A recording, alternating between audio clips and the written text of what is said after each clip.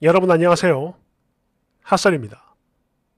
이번 시간에는 그러니까 이게 사연 자체가 주작인 건지 아니면 사연은 진짜인데 지가 거짓말을 하고 있는 건지 알 수가 없는 그런 어지러운 사연 가지고 왔습니다. 그럼 한번 봅시다. 무편집이에요. 제목 우리 남편 월급이 700이에요. 제가 용돈을 30만원씩 줄 예정인데, 솔직히 이 정도면 충분하고 많잖아. 안 그래요? 근데 이게 감히 난리를 쳐서요. 원제, 600 이상 버는 남편 용돈 30만원이 적습니까? 저희 신랑이 한 600에서 700 정도 벌어오는 사람인데요. 지금 한 달에 100만원을 가져가고, 그걸로 기름값, 한 35만 원 정도 쓰고 또 점심은 매일 사 먹고 그러고 남는 돈이 용돈입니다. 지난번에 대판 싸운 게 내 생일날 생활비로 생일 선물을 사라고 하더라고요. 그래서 나 그거 싫다. 네가 용돈 모아가지고 사줘 했더니 난리를 떠는 겁니다. 그리고 바로 오늘이죠. 제 생일이 됐는데 또 한 번 그 문제로 자기 용돈이 뭐 실질적으로는 40만 원 정도라면서 자기 용돈 터치하지 말라고 욕을 하고 소리 지르고 난리를 치는 거예요. 아니 제 주변만 그런 건지 한 달 2, 30만 원씩 용돈 받는 사람들도 본인 용돈 모아가지고 마누라한테 생일 선물하고 그러던데 이걸 바라는 게 정말 제 잘못이에요? 참고로 남편이 버는 돈에서 100만원, 저 100만원, 가족 식비 포함해서 그렇게 가져가고 남는 건 남편 통장에 그대로 다 있습니다. 제가 버는 월급은 나머지 생활비와 적금을 들고 있고요. 6, 700씩 벌어오면서 40씩이나 쓰고 있는데 그래서 그걸로 내 생일 선물도 그 돈으로 해라. 챙겨라. 이랬더니 개 난리치고 제가 너무 적게 용돈을 책정했나요? 나는 30만 줘도 될 것 같은데. 아니 이게 내 생일날 쌍욕을 들을 만큼 나쁜 상황인 건지 내가 나쁜 건지 설명 좀 해주세요. 뒤에가 있습니다. 많아요. 댓글 1번. 그래서 쓰니 본인은 월 30 가지고 뭘 할 수 있습니까? 저는 기름값 포함해 15만원이고 50만원 정도 써요. 월 300 벌어옵니다. 아니 50만원에서 기름값 빼고 35만원을 쓴다 이건데 그럼 네 월급의 12%를 쓰는 격이네? 어? 그런데 네 남편은 600을 넘게 버는데 30만원이면 겨우 5%도 안 되는 거 아니냐? 어? 이게 맞아? 만약 남편한테 60만원 용돈을 허락한다 해도 네가 쓰는 12%에는 못 미친다. 10%도 안 되니까. 이게 무슨 말인지 이해는 가냐? 2번. 네, 쌍욕 쳐 들으셔야 됩니다. 아니 네 남편이 무슨 노예입니까? 최소한의 품위 유지라도 하게 해줘야죠. 돈은 누가 법니까? 짜증이 확 따올라오네. 아니 세상이 도대체 어떻게 되어가고 있는 거야? 왜 이런 것들이 자꾸 척 끼어 나오냐고. 3번 350번은 우리 남편 출퇴근에 점심 경조사비 포함해서 달에 100씩 줍니다. 그래도 사회생활 하는 사람인데 님도 제발 적당히 좀 합시다. 경조사비는 양가 집안 행사비도 포함이에요. 절대 많지 않죠.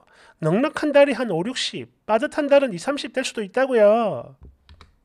네, 됐으니 신랑 개인 경조사비부터 집안 경조사비 일체 생활비에서 빼요. 4번 저는 여자고 새우 550 버는데요. 저도 교통비, 밥값, 커피값 이것만 쓰는데 개인적으로 용돈 충분한 거 아닌가요? 그 용돈 사용 범위가 어디까지인지는 잘 모르겠지만 충분해 보이는데 저도 나머지 주택담보대출, 신용담보, 신용대출 갚는 데 써요. 남편이 버는 돈도 6, 700 사이인데 전부 대출 갚는 데 씁니다. 그렇다고 엄청 아끼는 거 아니고 쓸 거 다 쓰는데 사치만 안 할 뿐이죠. 네, 됐으니 네, 저도 많진 않지만 충분하다고 생각을 해요. 저희 부부가 명품을 산다거나 그런 게 없고 님처럼 대출 갚는데 대부분 나가거든요. 남편 부수입은 하나도 터치 안 해요. 2번 어이고 둘이서 아주 그냥 똥을 차 싸는구나. 너 이거 자작이지? 댓글 자작. 5번 아이고 남편은 숨도 못 쉬게 목을 아예 대놓고 조르고 앉았네. 에휴. 헐 설마 지금 이 여자 남편 용돈은 풍족하게 준다 이렇게 생각을 하고 글을 적은 건가 정말로? 내가 네 신랑이었으면 생일 선물 이야기도 안 꺼냈다. 그냥 파리바게뜨에서 케이크나 사서 갖다 줬을 거야. 그럴 급이야 너는. 7번 제 잘못인가요? 이러고 앉았네. 같은 여자로서 개 창피해요. 아니 어쩜 이렇게나 뻔뻔한 인간이 다 있을까? 8번 6, 700을 버는데 40이면 겁나 타이트하죠. 뭘 거기서 돈을 또 모아가지고 선물을 하라니 말하니 어이고 쓰니야 내가 지금 만 원 줄 테니까 너 지금 당장 나가서 피자랑 치킨이랑 사오고 남는 건 너 가져라. 추가 아무래도 내용이 부족한 듯하여 더 써봅니다. 저도 맞벌이 중이고요. 저는 저를 위해 오롯이 쓰는 게 기름값, 식비, 그 외 쇼핑까지 다 해가지고 50만 원 쓰고 그 중에 또 10에서 15만 원씩 적금을 넣어요. 신랑 경조사비 일절 생활비에서 내고요. 신랑 월급에서 남은 돈은 그냥 신랑 통장에 남아 있어요. 그 돈은 차곡차곡 신랑 통장에 쌓일 테고 제가 따로 쓰거나 하진 않아요. 아니 대출 갚는다 그러지 않았습니까? 결혼하고 신랑이 대부분 버는 대로 쓰고 저축은 하나도 못해서 서로의 미래를 위해 합의하에 정한 거고 이 100만 원도 제 강요가 아니고 신랑이 먼저 정한 금액이라고요. 댓글 1번 아니 더더욱 이해가 안 되는데요. 저를 위해 오롯이 쓰는 게 기름값, 식비, 그 외 쇼핑까지 해서 50만 원을 쓰고 15만 원이 남는다고? 어? 아니 저걸 다 해가지고 50만 원으로 감당됩니까? 하루 밥값 만 원 계산해가지고 점심값, 기름값만 해도 벌써 50 훅 넘어가는데 실제 사회생활 해보면 네 말이 거짓말인 걸 바로 압니다. 본인은 절약해서 산다고 자신의 소비 생활을 강조하면서 이러면서 헛소리하지만 이미 이거부터가 다 구라라는 거죠. 티가 나. 만약 실제로 본인이 그 정도 돈밖에 안 쓴다고 한다면 신용카드 명세서 금액이라도 공개해 보세요.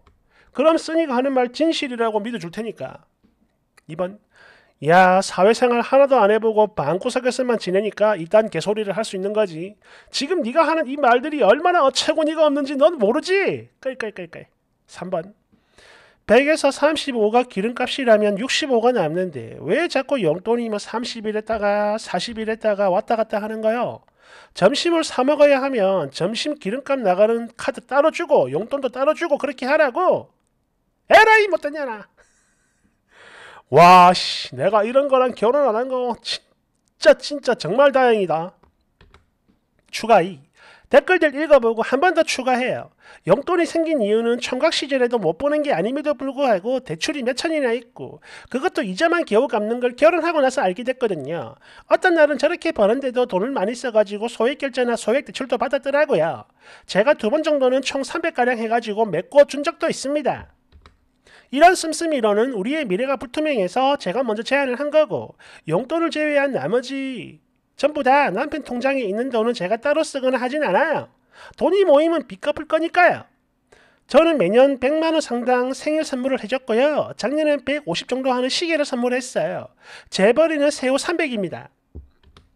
적금 들고 모으는 거에 재미를 아는 저에겐 결혼했으니까 남편이 좀 더 책임감을 가지고 안정된 생활을 하길 바라니까 그래서 제안을 했던 거고 아까는 남편이 이렇게 하자고 하지 않았습니까? 그때 남편도 이렇게 누군가가 자기를 관리해줬으면 좋겠다 이런 말을 했다고요. 어차피 남편 돈이니까 신경 안 써도 되는 거지만 평생을 함께할 사람인데 우리 부부인데 어? 그러니까 저는요 지금 제가 생각하는 이 방식이 절대 틀리다고 생각하지 않아요. 나중에 빚 갚으면 그때 좀 더 여유 있는 생활이 되겠지만 지금은 적은 돈도 많은 돈도 아닌 적당한 수준이라고 봅니다. 월 30이면 돼요. 댓글 1번 아니요. 여자가 보기에도 쓰니는 너무 악랄해요. 쓰니 같은 사람들 때문에 반반 문화가 생긴 겁니다. 요즘 공동생활비 반반씩 넣어서 하는 분들 되게 많아요. 근데 이러면 쓰니가 이렇게 하자고 하면 반반씩 하자고 하면 쓰니가 오히려 개거품 물 것 같은데? 아니야. 이렇게 하면 저는 오히려 이득인데요? 2번 아니 네가 먼저 물어봤고 답이 달리면 아 그렇구나 하고 받아들여 구차하게 내용 추가 계속 해가면서 답장만 시전하지 말고 3번 아무리 봐도 얘 사회생활 하나도 안 해본 것 같아요. 대댓글 100% 공감합니다. 사회생활 한 번도 안 하고 취집을 한 건데 아유 저 남편은 그것도 모르고 결혼해버렸네. 인생 망했다. 개 불쌍해. 4번 입 벌구 이거 완전 입 벌구네. 입만 벌면 구라. 자세히 보면 말이 지금 진짜 하나도 안 맞아요. 아마 지도 지금 지가 뭔 소리를 하는지 모를 거야. 아니 쥐 깃반만한 용돈으로 지 생일 선물까지 사라니 미친 건가? 그럼 뭐 그달은 네 남편은 굶고 다니라 이거요? 그게 아니면 그 깃반만한 용돈을 생일 한참 전부터 모아라 이런 건가? 헐. 6번. 나도 여자지만 이런 여자들 진짜 극혐해요. 팅!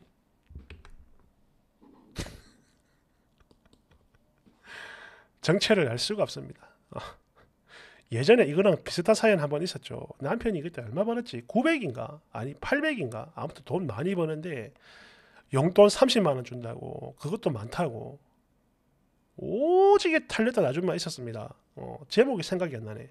있으면 링크 달아 놓을 텐데 그죠? 음. 아무튼 그래요. 오늘도 많이 어지러웠는데 그럼 다들 good night 잘 자요. 감사합니다.